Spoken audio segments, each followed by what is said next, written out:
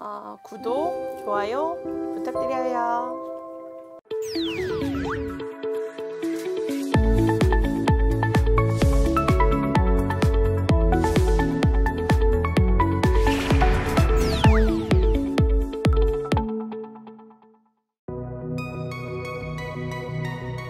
아라신당 아라보살의 당주입니다. 제가 무당을 하고 있는 건 뭐 조금 오래됐고요. 또 많은 단골분들이 계시기 때문에 여태까지 잘 끌고 나가는 것 같습니다. 앞으로 많은 구독 부탁드려요.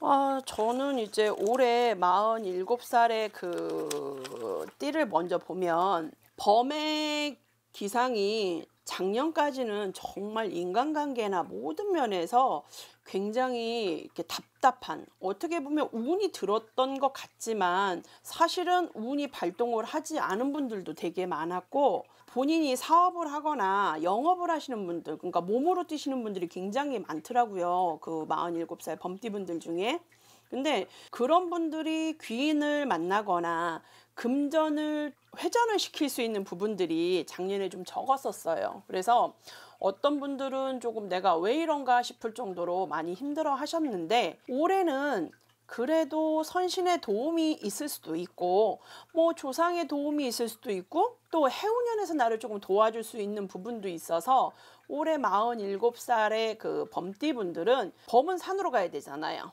또 용은 하늘로 가야 되고 그렇다면 올해는 내가 이런 벌판을 돌아다니지 않고 먹을 게 많은 산으로 갈 수 있는 한 해라고 생각을 해서 저는 올해 범띠를 어, 지목을 했습니다.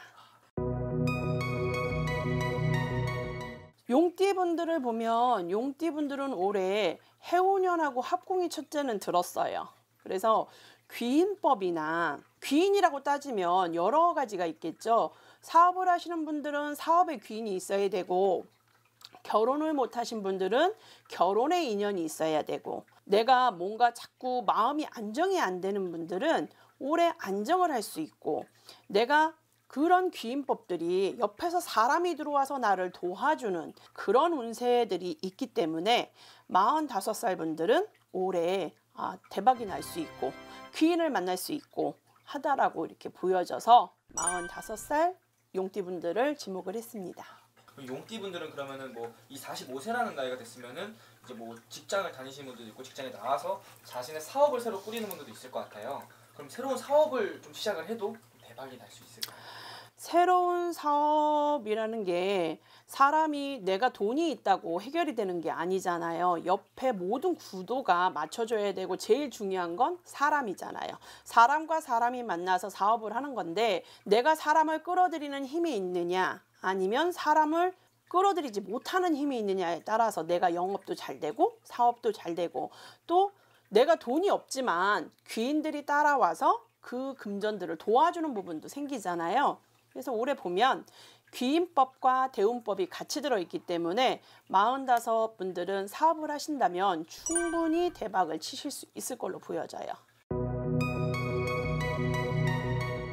음, 경자생 쥐띠분들은 올해 이제 환가분이 들었죠. 보통 이제 우리가 37의 초운이다, 47의 중운이다, 뭐 시운 7운이 있고 환가분이 있고 마지막에 이제 노재운이라 77이 있다고 얘기들을 하시는데 뭔지 모를 그동안의 시간들이 내가 어떻게 살아왔는지 모르게 바쁘게 60년을 살아온 거예요. 근데 새로운 시작의 의미를 뜻해요.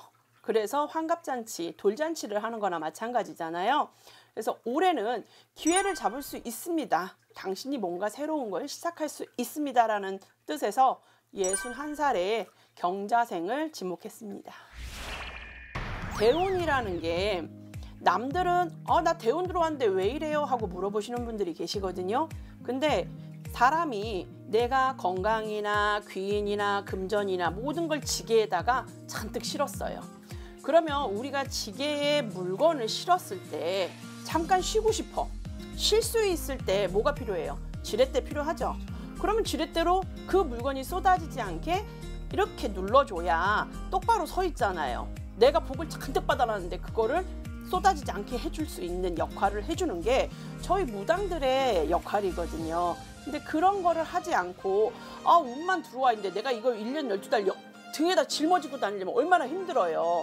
그러면 그게 쏟아지지 않게 보강을 해주는 역할을 하는 게 운맞이예요. 그거를 하셔야 그래도 내가 들어온 복을 바깥으로 넘어뜨리지 않고 버리지 않고 또 너무 많이 쌓여서 흘려가지 않고 이렇게 하기 위한 작업이라고 생각하시면 될 것 같습니다.